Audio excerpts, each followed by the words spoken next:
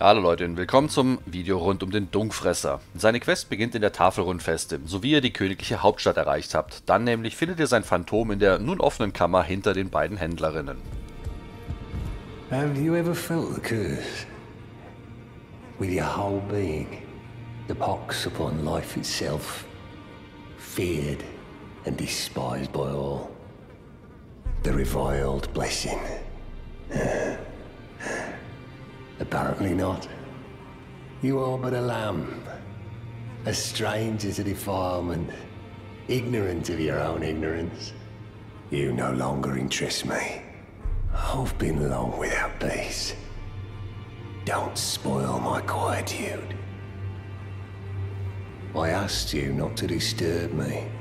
Be thankful of the hold serenity. It is all that keeps your death and defilement at bay.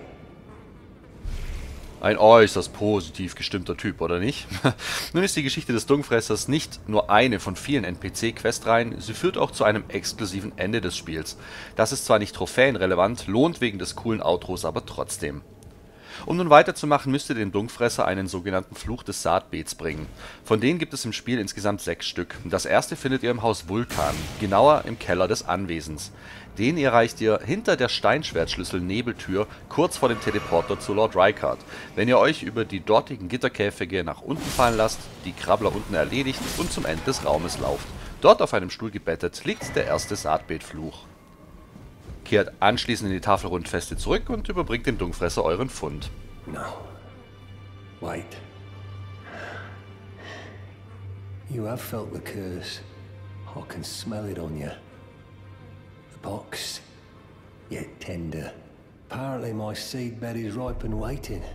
Twas a brief respite, I must say. Go and unshackle my corporeal flesh, trapped in the sewer jail below the capital. I can kill you and defile your corpse. Then the pox will truly be your own. Richtig gut gelaunt ist er ja. Jedenfalls sollt ihr nun seinen Körper finden und befreien. Und zwar in der Kanalisation unter der Hauptstadt, dem Reservat der Scham. Vorher aber holt ihr euch einen weiteren Fluch des Saatbeets. A, weil es auf dem Weg liegt und B, ihr ohnehin insgesamt fünf Stück davon braucht, um die Quest fortzuführen. Ihr findet das gute Stück relativ zu Beginn von Lane und zwar im ersten größeren Gebäude, das ihr nach dem Aufzug betretet. Dort müsst ihr über die Leiter und eine Wendeltreppe bis ganz nach oben unter das halb eingestürzte Kuppeldach. Der hier platzierte Saatbeetfluch ist kaum zu übersehen. Nun aber ins Reservat der Scham unter der Hauptstadt. Vom dortigen Ort der Gnade namens Unterirdische Straße lauft ihr links den Kanal entlang, tötet die Blutmalburschen entweder oder ihr schleicht an ihnen vorbei und lasst euch dann noch vor dem großen Gatter links runterfallen.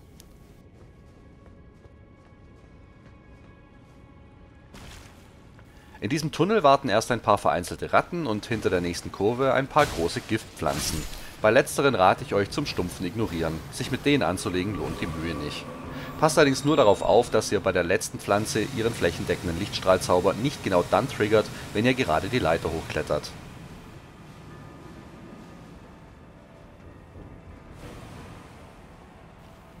Oben angekommen wartet eine gemeine Falle. Das dort so prominent platzierte Item ist nämlich der Köder für eine Riesenhand, die euch sogleich einfängt, wenn ihr das Ding einsammeln wollt. Daher lieber vorsichtig umkreisen, von hinten attackieren und dabei ihre kleinen Kollegen nicht vergessen.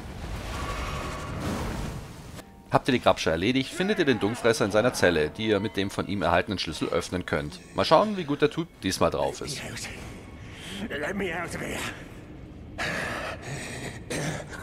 Who are you? I've been here long enough. I will kill again. And defile each corpse with care. Just to be sure that when they're reborn, they'll be cursed. Along with their children. And their children's children. For all time to come.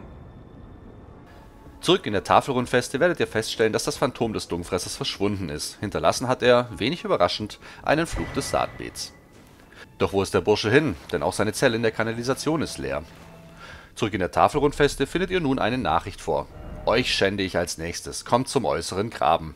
Ein recht vager Hinweis, wo ihr hingehen müsst. Der äußere Graben, über den der Dungfresser geschrieben hat, ist im Norden der Hauptstadt zu finden und über den Ort der Gnade namens Außenwald-Schlachtfeld leicht zu erreichen, wenn ihr von dort aus nach Osten reitet und den kleinen See im Burggraben anpeilt. Vor Ort trefft ihr überraschend auf den Krebshändler aus dem Seenland. Sprecht ihn einfach mal an. Yeah. Then I was seeing it here again. Never thought I would. What he does to those bodies. It was... It was him. No question. That monster. He's lurking round here. Nach dem Gespräch macht einen Save and Quit und, nun ja, seht selbst. Serves me right. Fitting bloody end. For a jumped up little shit with big ideas. Help me out. Would you, mate? I don't want to get cursed. Just let me die. I don't want to live like this. Not anymore. So, please.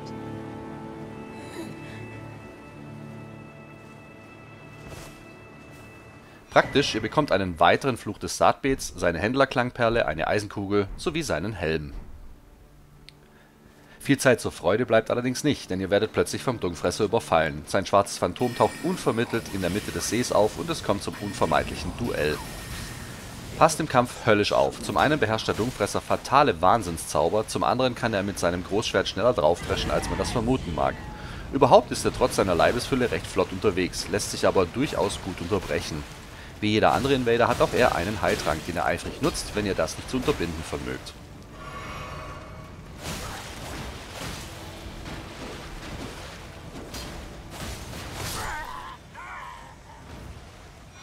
Habt ihr den Burschen bezwungen, bekommt ihr sein Milos-Schwert, das nicht nur cool aussieht, sondern auch recht heftigen Blutungsschaden verursacht und mit dem ihr einen Schrei ausstoßen könnt, der gegnerische Resistenzen verringert und schwere Angriffe zu einer fatalen Kombokette aneinanderreiht.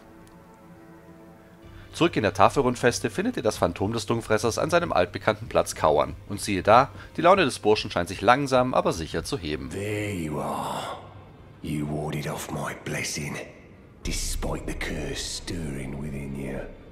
No one has succeeded in that before. How? I thought.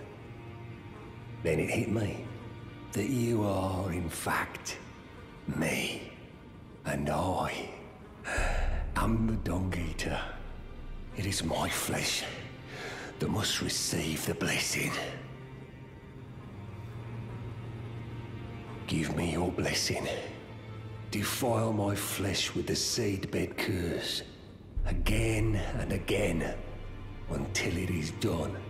Until a cursed ring coalesces and may one day defile order itself. Countless I have killed. And countless I have defiled. And soon the fruits will be born. Hundreds will be reborn cursed. And they'll bear thousands of cursed children. Who bear tens of thousands more. A few of those will be born just like me. And they'll kill and defile and bless in my stead.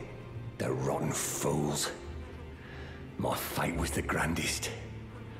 Most brilliant of them all. Weitere Flüche des Saatbeets aufstöbern kriegen wir hin. Die nächsten beiden findet ihr in Elphael, der Stütze des Harligbaums. Und zwar, wenn ihr euch direkt vor dem Raum mit den ersten beiden Reihenfäule-Rittern rechts über die Schräge auf diesen Balkon fallen lasst. Dort die Treppe runter, rechts dem Flur folgen, wieder rechts und ihr findet das gute Stück hinter ein wenig Gerümpel auf dem Schoß einer Leiche liegen.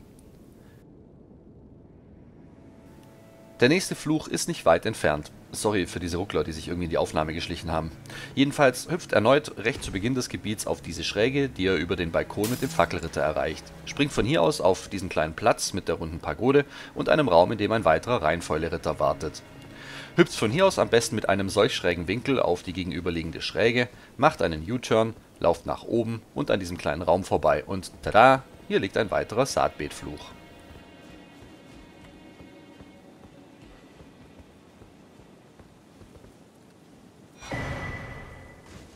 Damit habt ihr nun alle und ihr könnt zurück zum Körper des Dungfressers in der Kanalisation unter Landell. Ein ganz schönes Rumgelaufe, by the way. Okay. Okay. Upon them all. They'll be born cursed, all of them, along with their children.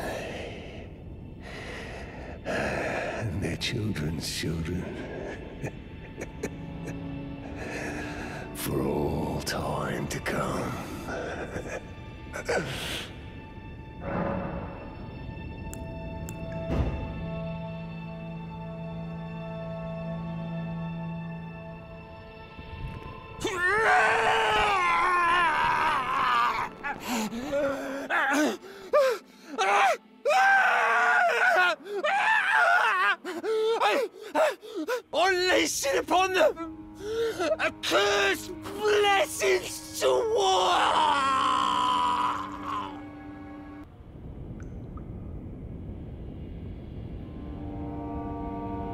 Ihr bekommt die Heilrune des grausamen Fluchs, mit dem ihr das spezielle Dungfresser-Ende des Spiels freischalten könnt. Wenn ihr das selbst erleben möchtet, solltet ihr aus Spoilergründen jetzt abschalten. An alle anderen, viel Spaß mit dem exklusiven Dung Eater Outro.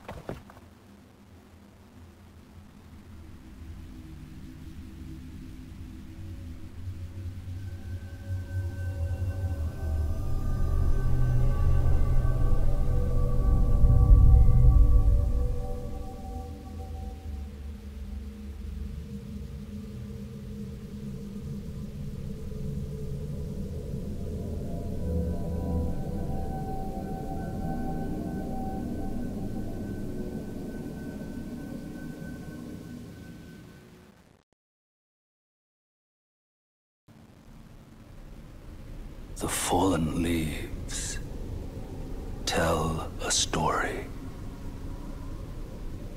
of how a tarnished became Elden Lord. In our home, across the fog, the lands between.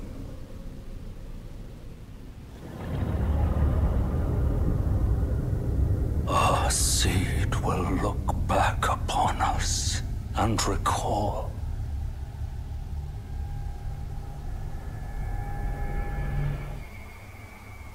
The reviled curse that defined our age.